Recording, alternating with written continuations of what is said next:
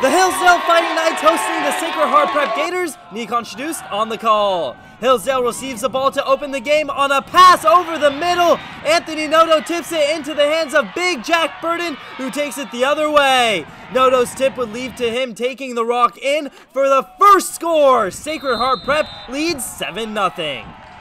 Second quarter, Hillsdale threatening. QB Erick Waugh goes over the middle to Jack Haywood, who holds on to it, and we are all tied up.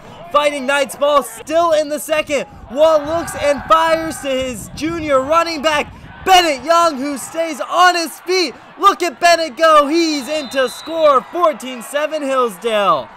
Five seconds left in the half. Gators with a goal to go, and the Fighting Knights get the stop. It's Jayden Tanega on the tackle. Hillsdale leads by seven at half. Noto gets the handoff and finds a lane downfield. Gators score later in the drive. We are all tied up into the fourth quarter. Hillsdale deep in their own territory. Waugh fires downfield to Kyle King. All hail the King, picking up 41 yards. Same drive. Waugh rolls to his left and goes across his body to the end zone, where Haywood makes the catch for his second tuddy of the night.